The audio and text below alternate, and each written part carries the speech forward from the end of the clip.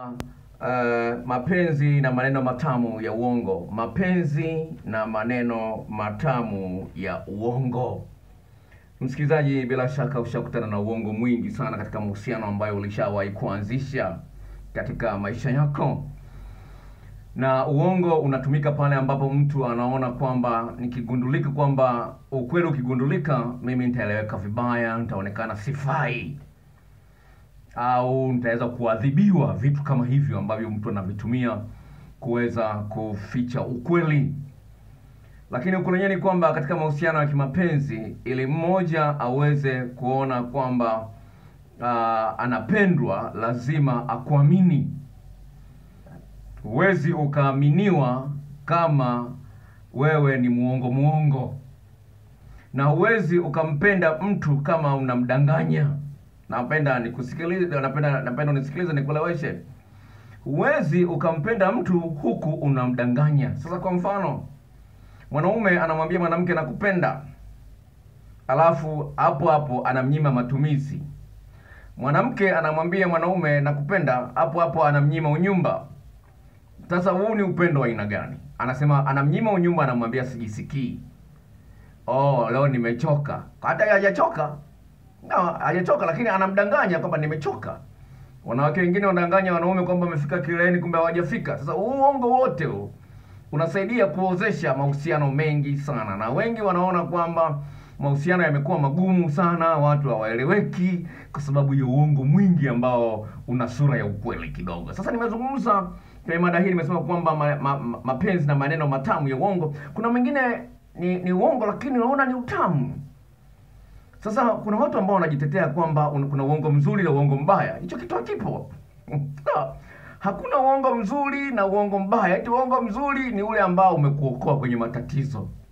No, si kweli. Bwana Yesu akasema, akamwambia wanafunzi wake, pale ambapo mtu anapaswa kusema ndiyo, akasema hapana, ameshirikiana na shetani. Pale ambapo mtu angependa kusema alipaswa alipaswa kusema hapana, akasema ndiyo, ameshirikiana na shetani. Sasa pale ambapo unaingiza uhusiano wako katika mahusiano yako, unaingiza uongo wa aina yote, ule mdogo mkubwa, tayari umemruhusu shetani afanye kazi. Na ndio hapo sasa unasema oh, ndio sasa siku hizi hazidumu. Shetani kazi yake ni karibu. Ndio Biblia inazungumza. Anyway, sihubiri hapa neno langu, lakini nakupa mifano kutoka mtu mmoja maarufu sana anaitwa Yesu. Na sasa nataka kukuambia hivi, katika mahusiano ya kimapenzi ukishindwa kutengeneza mazingira ya uwazi na ukweli Usilalamike kuona kwamba mahusiano yamekuwa mabaya.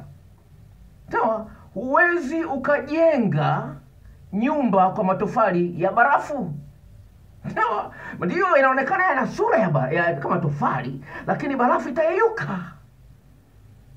Kwa hiyo lazima ujue kwamba lazima ujifunze kusema ukweli mara kwa mara ili uweze kuwa mkweli mara kwa mara. Biblia inazungumza kitabu cha Yeremia 9:5 Mungu anasema hawa watu wameuzoesha ulimi wao kusema uongo.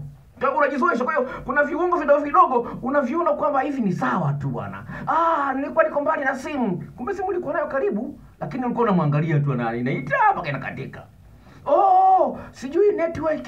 Sio kweli. Oh, message yako sikuiona. Si, hayo yote hapo. Sasa napenda kwambia hivi. Iwapo unahitaji kutengeneza mapenzi matamu yatakayodumu, kwanza kabisa hakikisha unafanya mazoezi ya kuwa mkweli. Sasa kusema kuna uongo mdogo na uongo mkubwa, kuna uongo mzuri. Sasa nani anayeweka mpaka kwamba bwana, uongo mkubwa uishie hapa, uongo mdogo uishie hapa? Anayeweka mpaka ni nani? Na kila mmoja na historia yake tofauti. Amelelewa na wazazi waongo, au wa ndugu zake walikuwa waongo, alishaumizwa kutokana na uongo. Kwa hiyo utakuta mtu hata uongo mdogo anauogopa, kwa sababu huko nyuma alishadanganywa kwa uongo. Wewe unaona ni mdogo, huko nyuma ulimuumiza sana. Kwa hiyo anatoa tafsiri kwa ule uongo wako mdogo. Sasa kama ume, umeona kwamba ni rahisi kusema uongo unaouita mdogo, sawa na je, kwenye uongo mkubwa si ndio itakuwa rahisi zaidi, kwa sababu unaona kwamba ndio hatari ni kubwa zaidi. Kwa hiyo lazima uikimbie kwa kusema uongo mkubwa zaidi. Sawa. Sasa mtu mmoja katika tafiti ya mada hii akasemaje? It makes me really feel like I will never understand what is going on in their heads. Inanifanya mimi nijisikie kwamba sitaweza kamwe, sitaweza kujua kinachoendelea kwenye kichwa chake ni kitu gani. Anaendelea kusema huyu mtu, I, I can't trust him. Siwezi nikamwamini tena. It feels like I know nothing about him. Sasa najisikia kama vile hakuna ninachokijua kwa huyu mtu. Labda vingine labda vingine vyote ni vya uongo uongo tu, anigiza igiza tu. Sasa yapo. Sasa tu- tu- tu- tunaendelea kulaumiana, oh, anipendi, hadi no. Kuna vitu vingi vinavyochangia mtu mpaka ameacha kukupenda. Ulikuwa sema viungo vidogo mdogo, alikuwa anaviona na anavipotezea. Sasa akaja akaja kufanya kubwa moja. Sawa. Vidogo vidogo alifanya vingi, akawa anavipotezea potezea vidogo viongo vidogo vidogo. Anavipotezea. Sasa kufanya mengine kubwa. Mhm, Ukamdanganya akaligundua. Atajua ah, kumbe kuna mambo mengi makubwa ambayo siyajui. Sawa. Hmm. Sawa.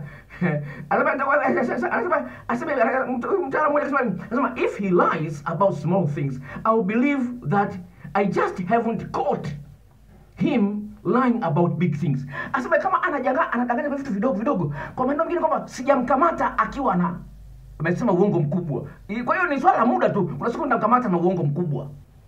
Kwa hiyo unakuta unaishi maisha ya wasiwasi, si ni kweli hajapokea simu yangu, ni kweli alikuwa mbali na simu au amekumbatiwa na mwanaume mwingine, ni kweli simu betri yake ilikuwa imeishiwa chaji au alikuwa amemlalia mwanamke mwingine. Unashindwa kuelewa.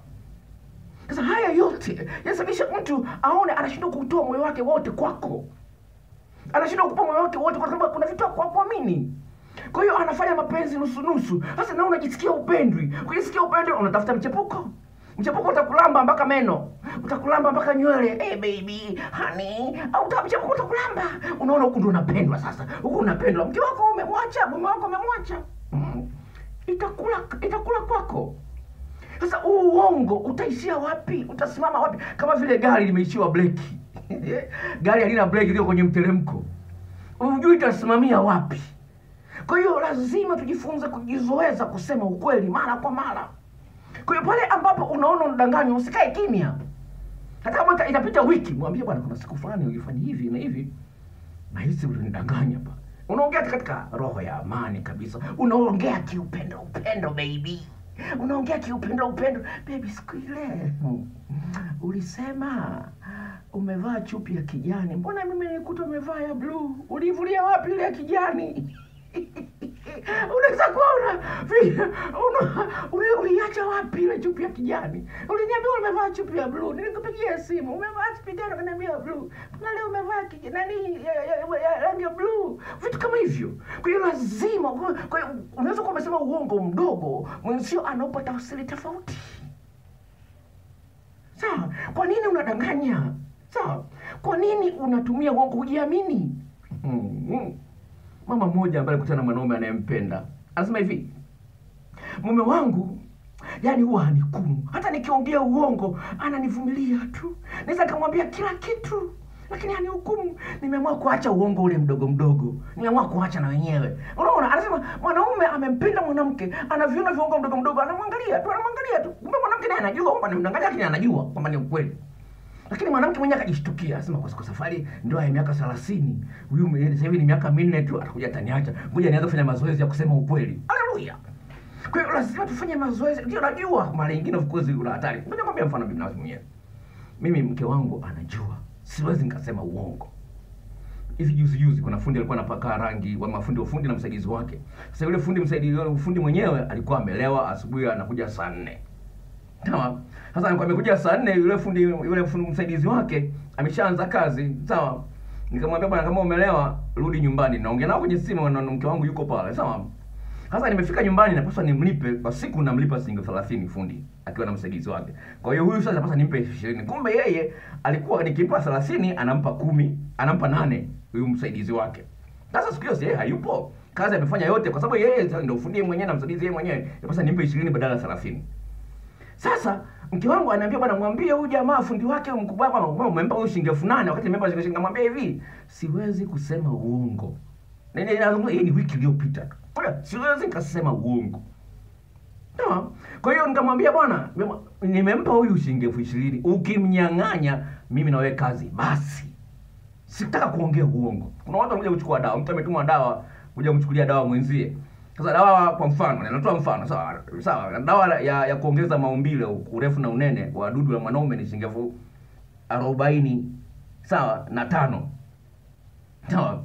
Sasa sasa yeye anasema ni maana tumwambie sabini ishirini na tano iwe ya kwangu. Namwambia hapana, mwambie wewe mwenyewe. Mimi siwezi kinywa changu akiwezi katoa kusema uongo. Mwambie wewe mwenyewe, mimi nitakuuzia, lakini utanipa hiyo hela yangu. Lakini mimi siwezi kumwambia kwamba nauza shilingi elfu sabini wakati wewe unamwambia unauza laki moja. Hiyo siwezi.